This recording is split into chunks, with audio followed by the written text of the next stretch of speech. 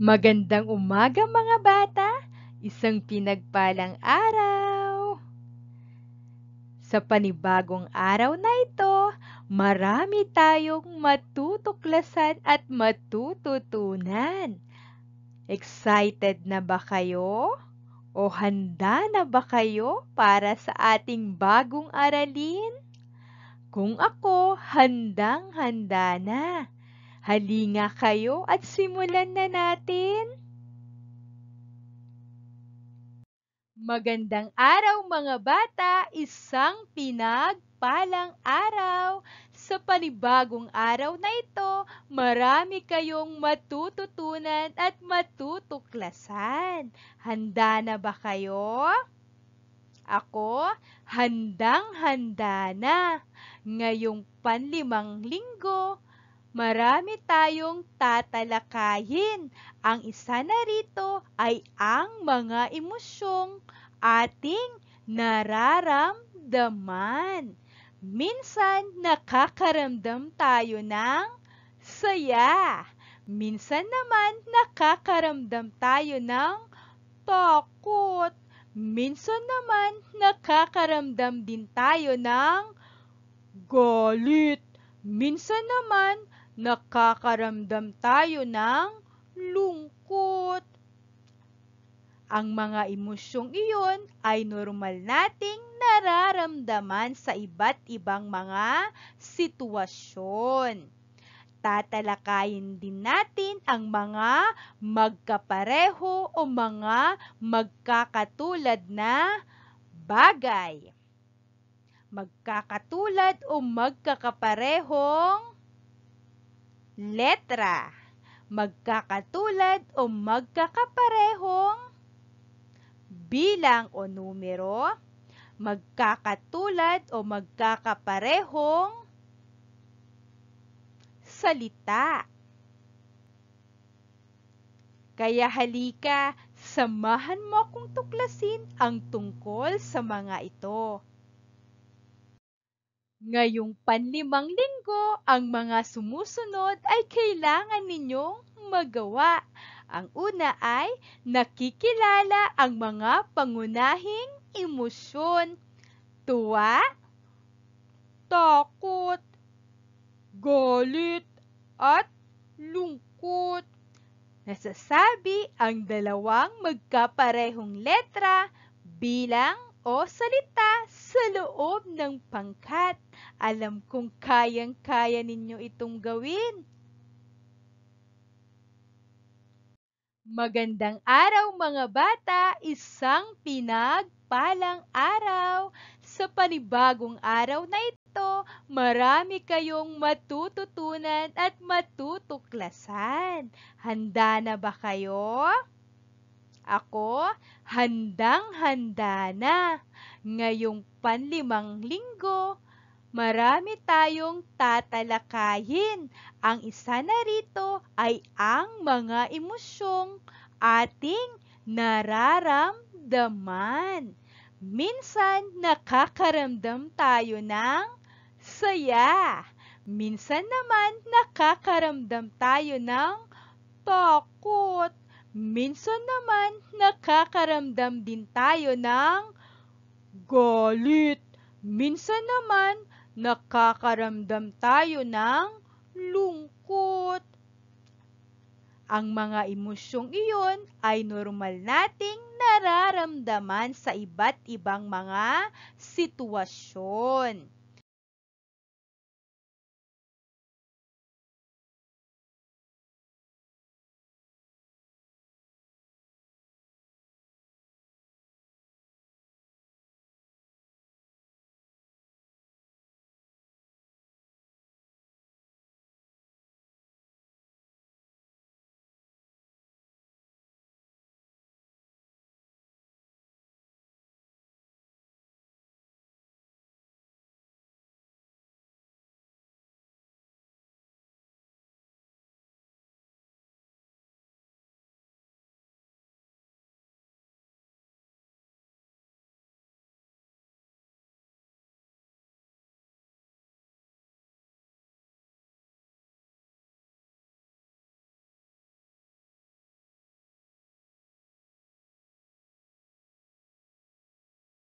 Magandang araw mga bata, isang pinagpalang araw. Sa panibagong araw na ito, marami tayong matututunan at matutuklasan.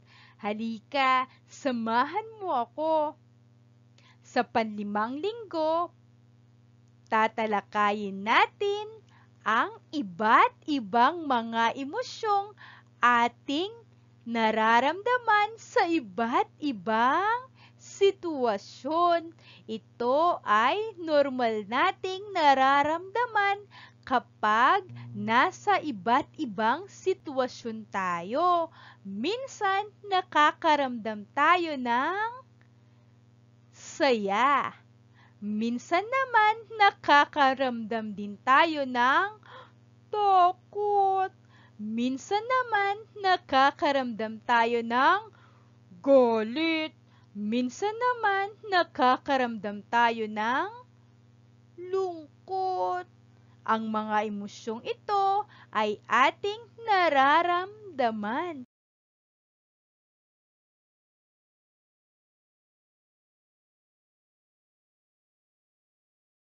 Halika, samahan mo akong tukuyin kung kailan at anong sitwasyon natin nararamdaman ang mga emosyong ito at ano ang mga dapat nating gawin at isa-isip.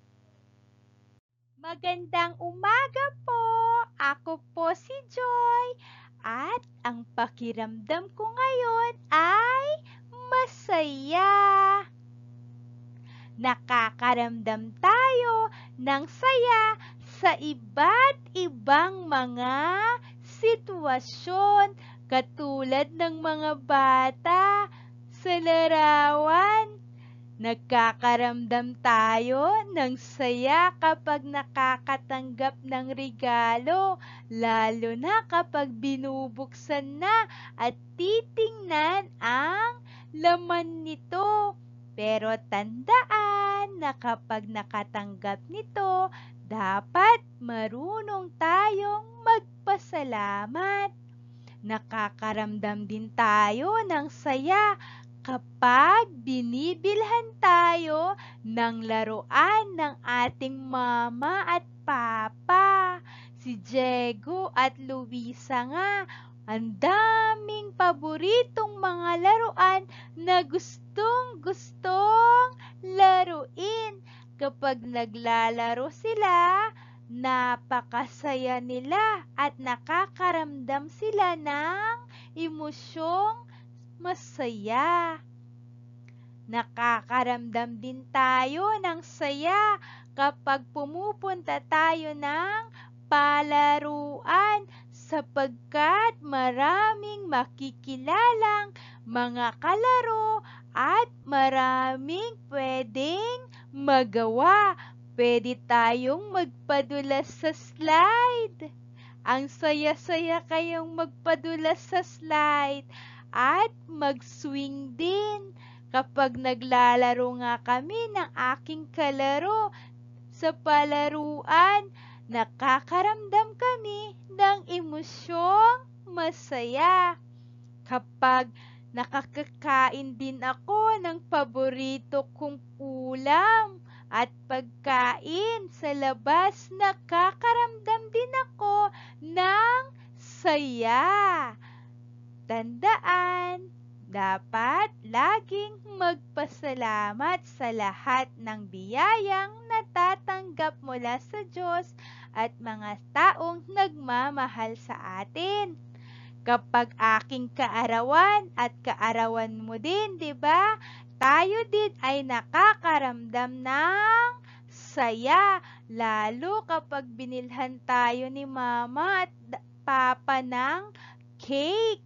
Kapag kaarawan natin, marami din tayong mga regalo at mga handang pagkain kapag namamasyal din kami sa beach at iba't ibang mga lugar pati sa mall, kami ay nakakaramdam ng saya. Kapag pumupunta kami malapit sa dagat, naglalaro kami ng buhangin at gumagawa kami ng sand castle. Sa mga sitwasyong ito, nakakaramdam tayo ng saya. Ikaw nakakaramdam din ba ng saya katulad ko kapag nasa sa, sa mga sitwasyong ito? Pareho pala tayo. Tandaan mo lamang kapag nakatanggap ka ng mga biyaya, kailangan nating magpasalamat. Gayahin mo nga ang emosyong pinapakita sa larawan. Alam kong kayang-kaya mo yan. Ang emosyong ito ay emosyong masaya o kapag nakakaramdam tayo ng saya, ngiti ka nga tulad sa larawan. Mahusay! Magandang umaga! Ako naman si Fear. Nakakaramdam ako ng takot ngayon. Katulad ng mga bata sa larawan. Katulad ni Luisa, takot din ako sa kulog at kidlat. Kapag nakakarinig ako ng kidlat at kulog katulad ni Luisa, napapatakbo ako sa loob ng aking kwarto at tinatakpan ang aking dalawang tenga at nagtatalukbo ng kumot. Ayoko rin ng kidlat at kulog. Katulad ni Gabriel, takot din ako sa aso. Takot na takot akong makagat nito, lalo na ng kanyang malalaking mga pangil at mga ngipin. Mamaya bumaon sa aking legs. Kaya minsan, katulad ni Gabriel, umiiwas akong lumabas ng bahay kapag walang kasama. Katulad ni Diego, takot din ako sa injection. Natatakot kasi ako sa mahabang karayom nito. Minsan nanginginig at umiiyak ako kapag pumupunta kami ng aking mama sa hospital Katulad ni Gabriel, hindi ko maiwasang umiyak kasi takot na takot talaga ako. Pero kailangan talaga kasi minsan kapag may sakit para gumaling at pangontra din sa katawan. Katulad ni Sophia, takot din ako manood ng mga pelikulang tungkol sa multo Mamaya lumabas sa aking likuran. Kaya hindi ako nanunood kapag wala akong kasama. Manunood lang ako kapag andyan si mama at papa o kaya si ate at kuya. Katulad ni Cheryl at Carlo, takot din ako sa ipis at saka gagamba. Kahit maliliit sila, takot na takot ako. Minsan, umaakyat talaga ako sa upuan o mesa o kaya sa anumang matataas na bagay. Kasi ayoko sa kanila, nakakatakot sila. Si Lito naman takot din sa pagpapat pagpapabunot ng ngipin. Ako din. Takot din ako magpabunot ng ngipin sa dentista. Masakit kaya? Pero kailangan gawin kasi mahilig ako kumain ng candy. Kaya marami akong ngiping nabubulok. Kaya kailangang tanggalin. Kaya kayong mga bata, Iwasan nyo ng pagkain ng matitigas na candy sapagkat dadami ang mga bulok nyong ngipin na kailangang tanggalin. Paalala ko din sa inyo, kapag natatakot kayo, kailangang lumapit o magsabi sa inyong mama at papa. Pwede din kay ate at kuya. Para mabawasan ang ating mga takot. Ang mga sitwasyong ito ang dahilan kaya tayo nakakaramdam ng emosyong takot. Gayahin mo nga ang emosyong ipinapakita sa larawan. Nakakaramdam tayo ng takot kapag nasa isang sitwasyon tayo. Gayahin mo nga, alam kong kayang-kaya mo yan. Magaling! Kapag natatakot ka, magsabi ka lang o lumapit sa iyong mama o papa. Pwede rin magsabi o lumapit sa iyong ate o kuya. Ako naman si Angry. Nakakaramdam ako ng galit ngayon.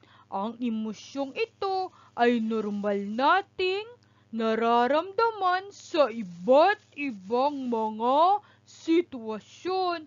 Katulad ni Luis sa larawan, ako ay nagagalit kapag inaagaw ang aking paboritong laruan.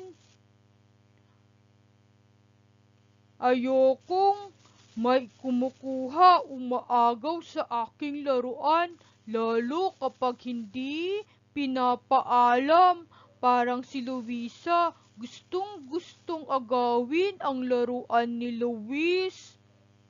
Tandaan mga bata, kapag kukuha kayo ng laruan ng iba, kailangan nyong magpaalam upang sa gayon ay hindi ito magalit. Kapag inaasar din ako, ako ay nagagalit. Katulad ni Gabriel, inaasar siya ni Ray na siya daw ay napakataba at napakapangit. Kaya nagalit ito at nakipag-away.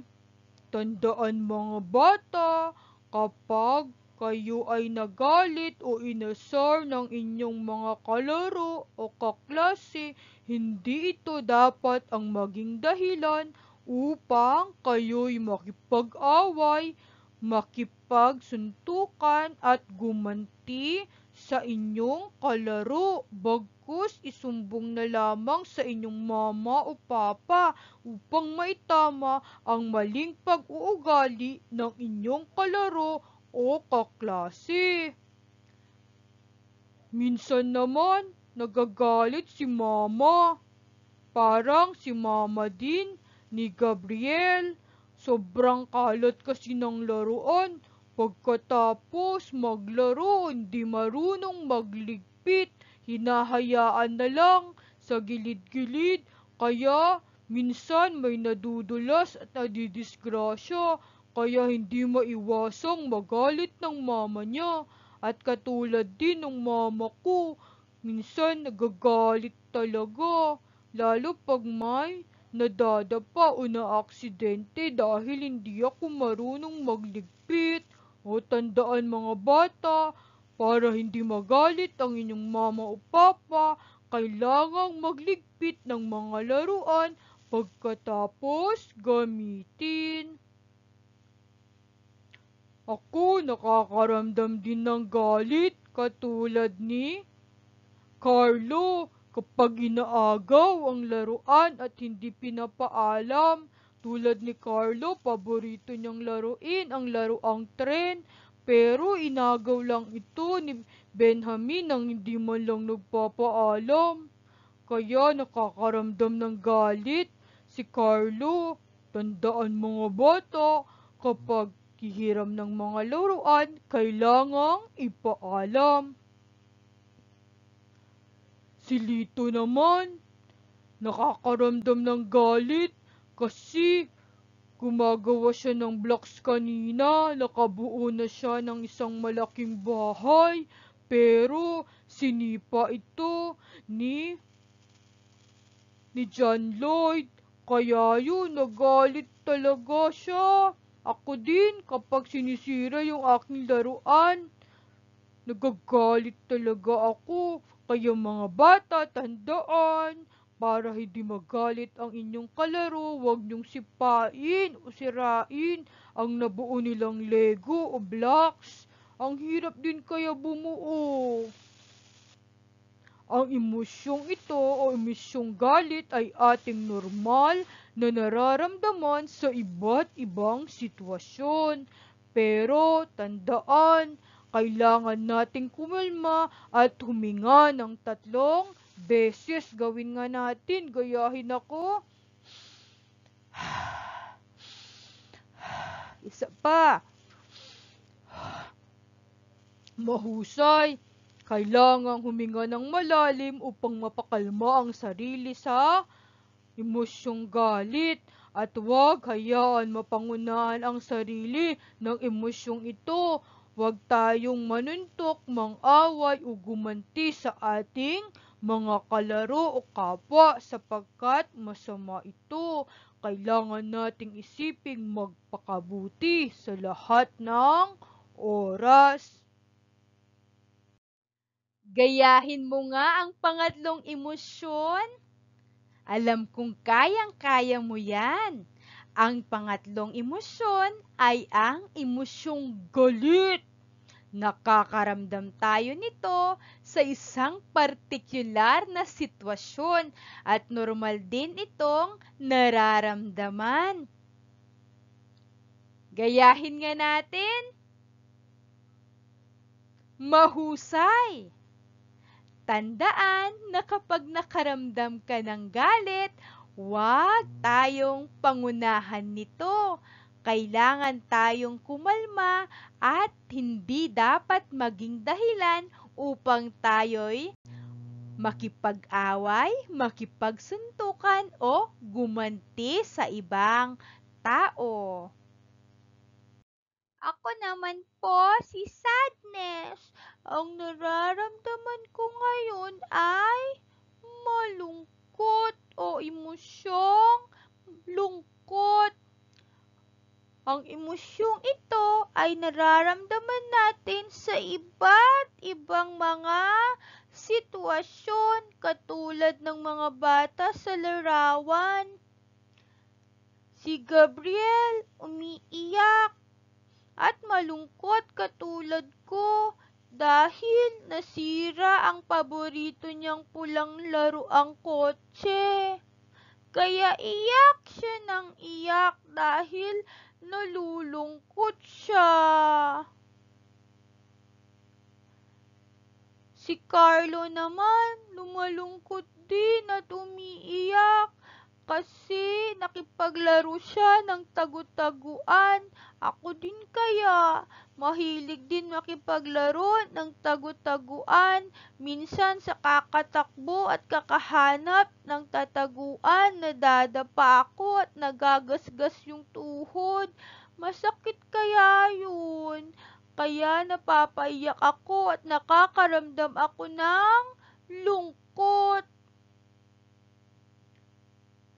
Si Christina naman, ang mama at papa niya, laging nag-aaway katulad ng aking mama at papa. Kapag naririnig ko silang nag-aaway, pati si Christina, naririnig niyang nag-aaway ang kanyang mama at papa. Nalulungkot talaga siya at nakakaramdam ng emosyong ito at minsan napapaiyak dahil palagian silang nag-aaway. Si Diego naman, may sakit. Siya ay may mataas na lagnat. Ako din. Kapag nakakaramdam ako at nagkakasakit ako, ako ay malungkot. Sa sapagkat hindi ako makakapasok ng school. Hindi rin ako makakapaglaro kasama ng mga kaklase ko at aking mga kalaro. Kaya kapag may sakit ako, ako ay nakakaramdam ng lungkot. Si Luisa at Louis, Luisito naman, malungkot din katulad ko sapagkat nakakuha sila ng mababang grado sa kanilang pagsusulit kapag mababa din ang aking score sa aking pagsusulit at mga gawain, sadya akong nalulungkot. Si Benjamin naman, laging malungkot kasi tinutukso siya ng kanyang mga kamag-aral na si Lito at Luis. Kaya minsan nalulungkot si Benjamin at napapaiyak katulad ko. Katulad ni Benjamin, may mga kaklase din akong nanunukso sa akin. Bad kaya yun?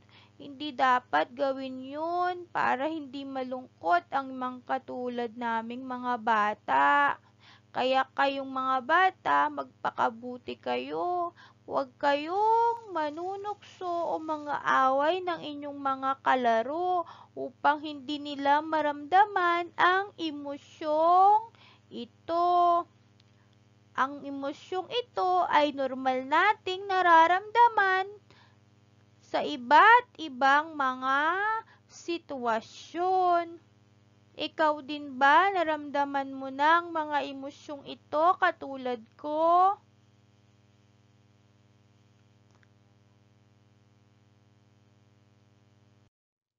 Gayahin mo nga ang pang-apat na emosyon. Alam kong kayang-kaya mo yan. Ang emosyong ito ay ang emosyong malungkot. Nakakaramdam din tayo nito sa isang partikular na sitwasyon. Gawin nga natin magaling. Ang mga emosyong ating nararamdaman ay ang saya, takot, galit, at lungkot. Normal natin itong nararamdaman dahil sa iba't ibang mga sitwasyon. Isang paalala, kapag nakaramdam tayo ng galit, hindi ito ang dapat maging dahilan upang tayo ay makipag-away, makipagsuntukan o gumante sa ating kamag-aral o kalaro. Bagkos, sabihin natin ito sa ating mga magulang, guro o mas nakakatanda sa atin upang sa gayon ay maiayos o maitama ang tamang asal ng ating kalaro o kamag-aral at upang humalma ang ating nararamdamang galit, kailangan natin huminga ng tatlong beses. Gaya nito, samahan mo ako, hinga tayo ha.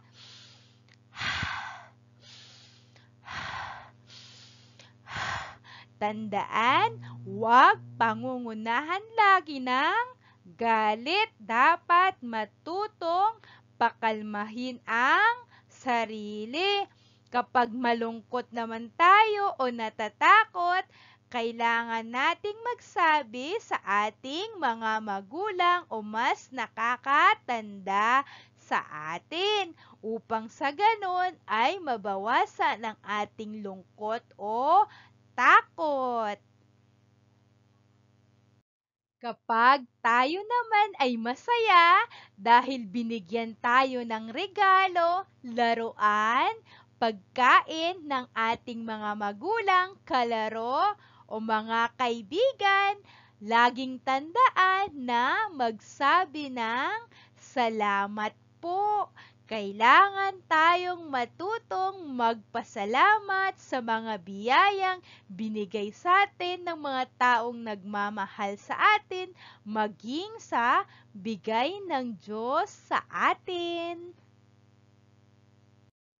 Ano kayang emosyon ang nararamdaman ng bata sa larawan? Siya ay may lagnat.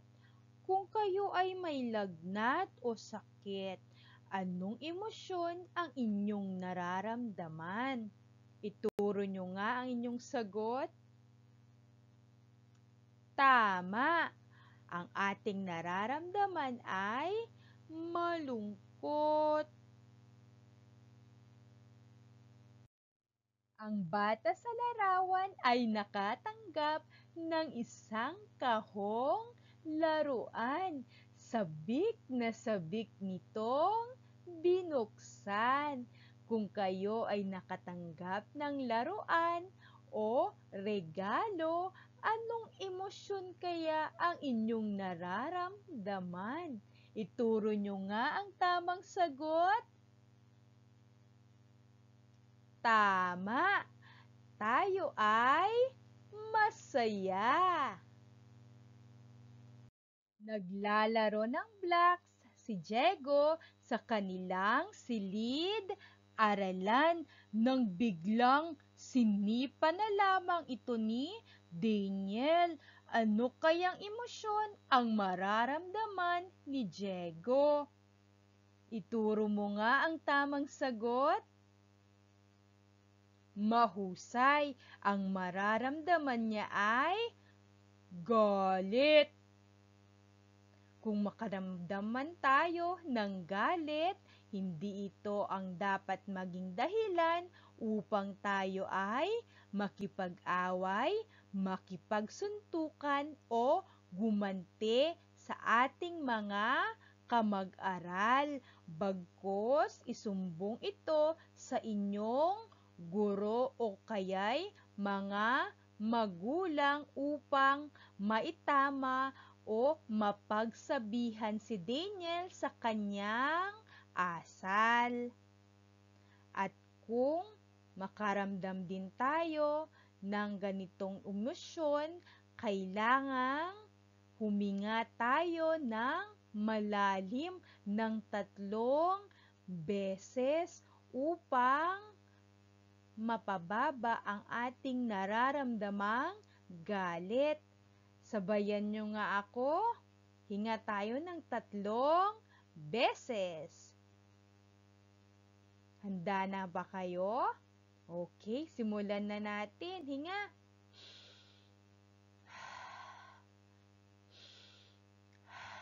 Isa pa. O, tandaan, huminga ng tatlong beses. Ngayong araw ay kaarawan naman ni Jenny at binigyan siya ng cake ng kanyang mama at papa. Anong emosyon kaya ang mararamdaman ni Jenny ngayong araw na ito? Ituro mo nga. Magaling.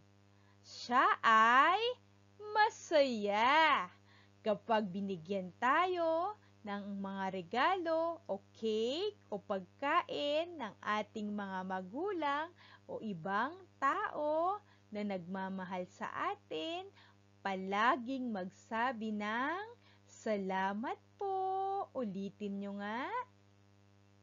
Mahusay. Si Cassandra ay halos mapatili at manginig nang may makita siyang gagamba. Ito'y halos dumapo sa kanyang ulo.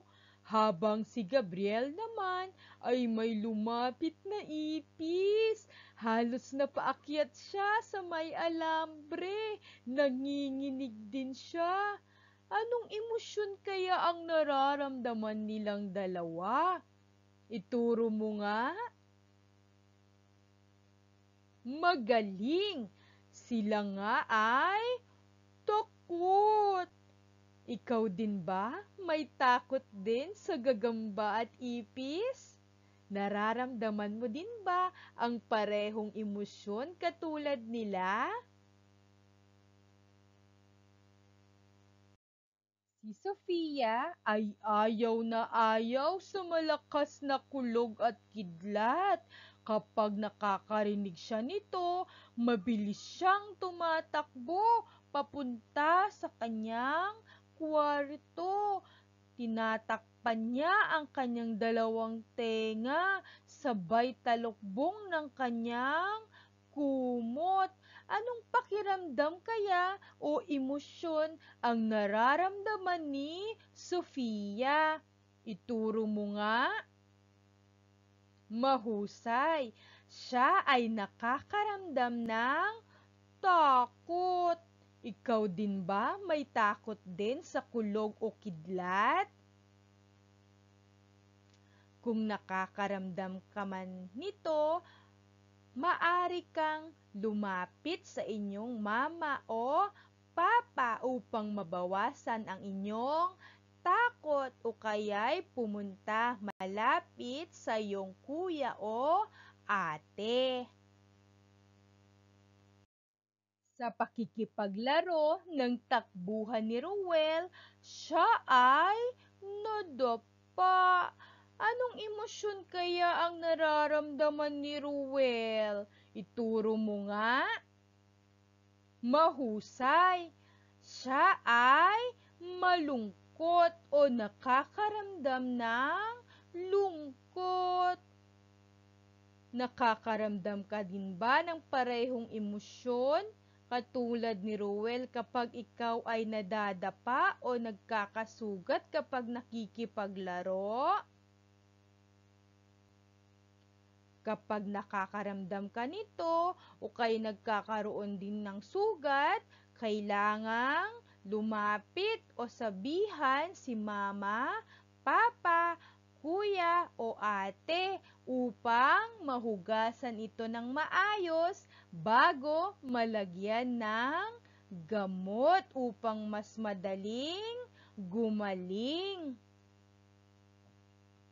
Si Jack at si Jill ay mahilig magtungo sa palaruan. Mahilig silang magpadulas sa slide. Anong pakiramdam kaya o emosyon ang kanilang nararamdaman kapag pumupunta sila sa palaruan? Ituro mo nga. Mahusay. Sila nga ay masaya o nakakaramdam ng saya. Ikaw din ba? Mahilig ka rin maglaro o makipaglaro sa palaruan at magpadulas katulad nila? Si Luis ay may laruang tren nang walang pag-aatubiling lumapit si Lito at inagaw ito sa kanya nang walang kapaalam. Anong emosyon kaya ang mararamdaman ni Luis? Ituro mo nga. Magaling. Siya ay makakaramdam ng galit. Ikaw din ba inagawan na ng iyong kamag-aral o kalaro ng mga laruan? At nakaramdam ka rin ba ng galit? Kung makaramdam ka man nito, hindi ito ang dapat maging dahilan upang ikaw ay makipag-away, makipagsuntukan o gumante. Bagkos isumbong ito sa iyong mga magulang o kaya'y sa inyong guro upang maitama ang maling asal ni Lito at siya ay mapagsabihan at upang bumaba ang ating galit na nararamdaman, kailangan tayong huminga ng malalim ng tatlong beses. Sabayan nyo nga ako. Hinga tayo. Isa pa. Tandaan, kapag nakakaramdam ng galit, kailangang huminga ng malalim upang tayo'y kumalma at upang mabawasan ang nararamdaman nating galit. Carlo, kasama ng kanyang mama, ay nagtungo sa pinakamalapit na klinik upang magpabakuna kontra polio. Pero si Carlo nanginginig-nginig at halos umiiyak na. Hawak ang braso ng kanyang mama dahil takot siya sa injection. Anong pakiramdam kaya ang nararamdaman ni Carlo? Ituro mo nga. Magaling. Siya ay nakakaramdam ng takot. Ikaw din ba nakakaramdam din ng takot kapag kailangang bakunahan at injeksyonan? Ito ay normal lamang na pakiramdam. Hindi kailangang matakot sapagkat ang injection o pagbabakuna isang paraan upang maproteksyonan ang katawan. Parang lang kurot o kagat lang to ng langgam eh, kaya hindi kailangang matakot. Magandang araw mga bata! Isang pinagpalang araw! Ngayong panibagong araw, marami kayong matutuklasan at matututunang mga bagong kaalaman. Ngayon, tutukuyin natin kung alin ang magkapareho o magkatulad sa loob ng pangkat. Tutukuyin natin ang magkapareho o magkatulad na larawan o bagay. Magkapareho o magkatulad na letra. Magkapareho o magkatulad na bilang o numero. Magkapareho o magkatulad na salita. Halika, samahan mo akong tuklasin ang tungkol sa mga ito. Halika, simulan na natin. Halika, samahan mo akong tuklasin ang magkapareho o magkatulad na larawan. Tingnan nga ang mga larawan ni Goku. Ang mga larawan niya ay magkapareho o magkatulad sapagkat ang kanyang buhok ay magkatulad. Ang kulay ng damit ay magkatulad din. Ang kanyang sapatos sa mga larawan ay magkatulad din. At ang kanyang tindig sa dalawang larawan ay magkatulad o magkapareho. Ang mga larawan ni Goku ay magkapareho o magkatulad. Tingnan ang mga larawan ni Pikachu. Ang kanyang kulay sa parehong larawan ay magkapareho o magkatulad. Ang kanyang tindig at postura ay magkapareho o magkatulad din. Kaya, ang dalawang larawan ni Pikachu ay magkapareho o magkatulad. Pansinin ang dalawang larawan ni Luffy. Ang kanyang dalawang larawan ay magkapareho o magkatulad. Pansinin ang kanyang buhok, sombrero, damit, short, at tsinelas ay magkapareho rin. Ang kanyang tindig o postura ay magkapareho. Kaya ang dalawang larawan ni Luffy ay magkapareho o magkatulad.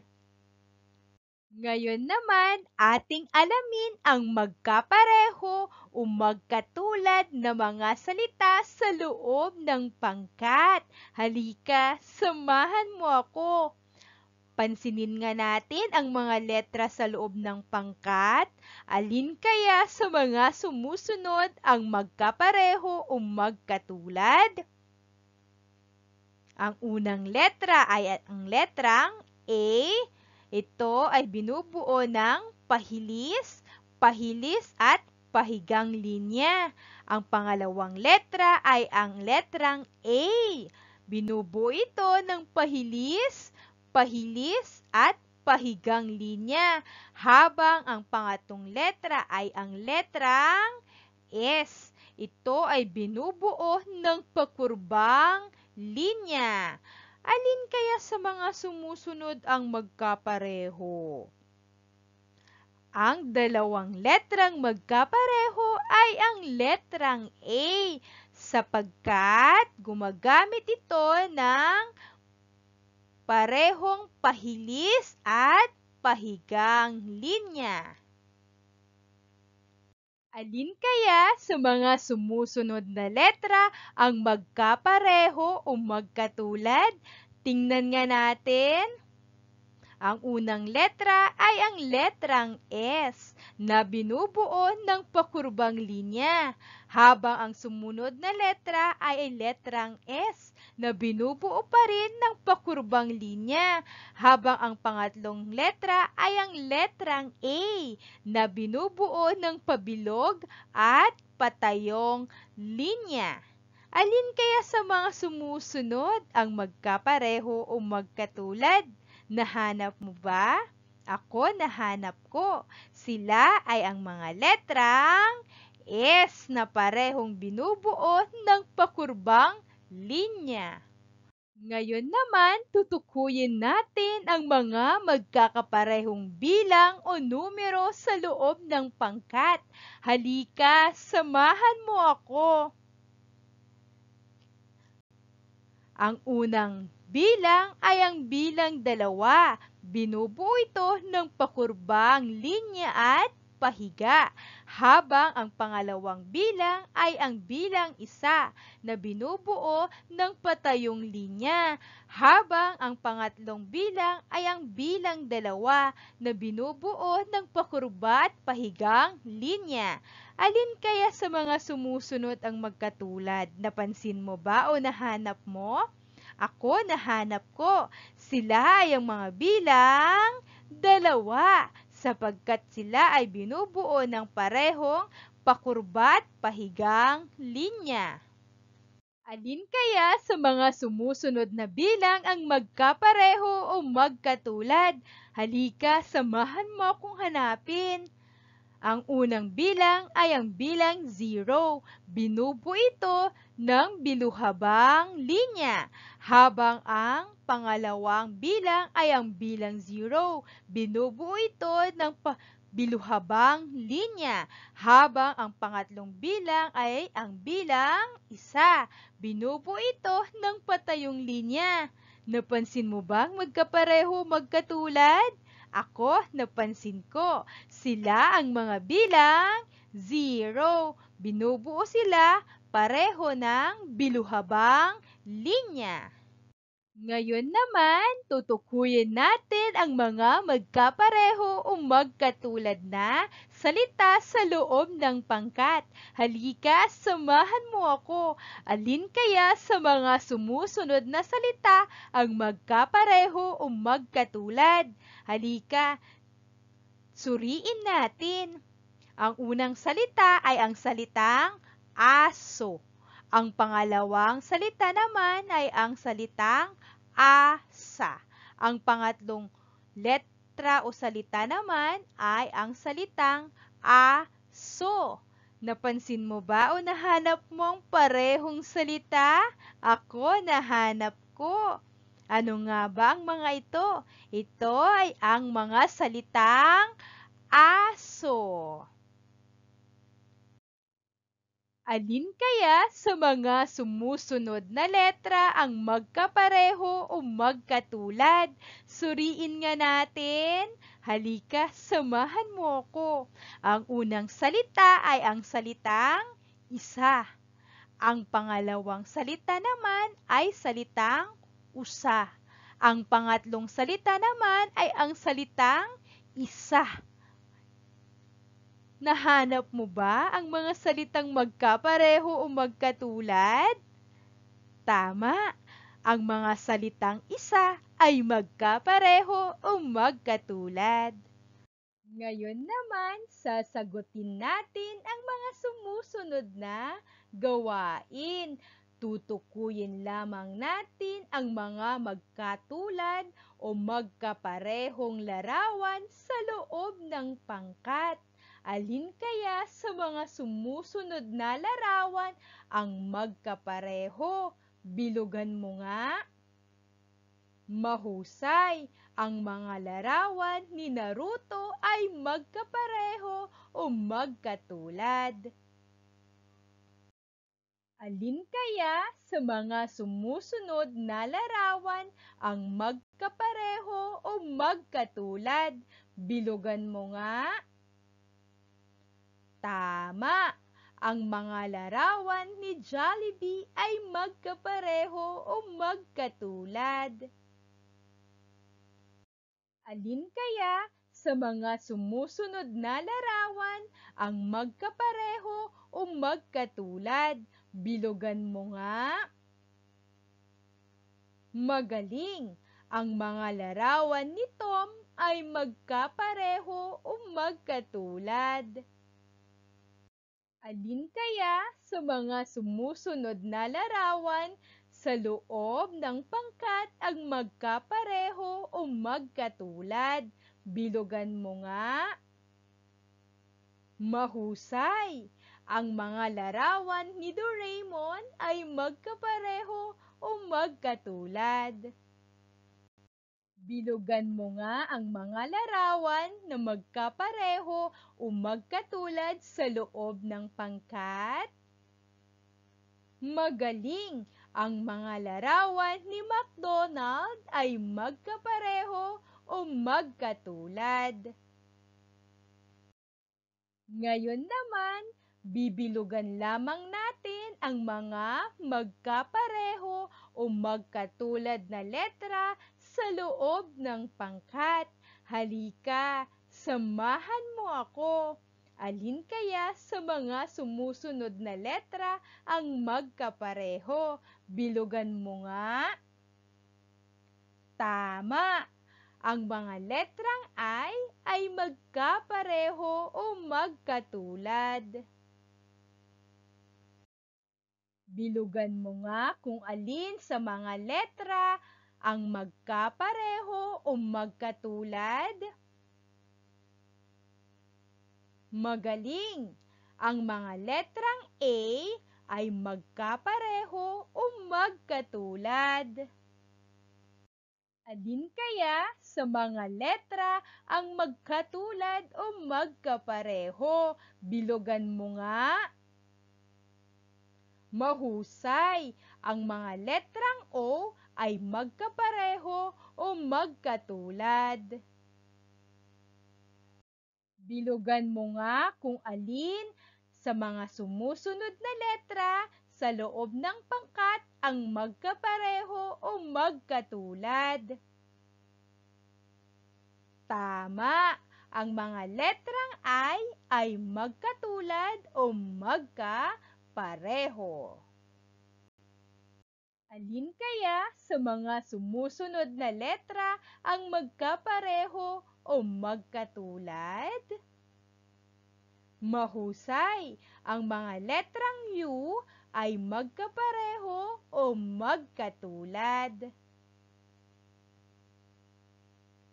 Ngayon naman, tutukuyin lamang natin ang mga magkapareho o magkatulad na bilang o numero sa loob ng pangkat. Halika, samahan mo ako. Alin kaya sa mga sumusunod na bilang ang magkapareho o magkatulad. Bilugan mo nga. Mahusay. Ang mga bilang zero ay magkapareho o magkatulad. Bilugan mo nga kung alin sa mga sumusunod na bilang ang magkapareho o magkatulad. Magaling! Ang mga bilang tatlo ay magkapareho o magkatulad. Bilugan mo nga kung alin sa mga bilang ang magkapareho o magkatulad. Mahusay, ang mga bilang dalawa ay magkapareho o magkatulad.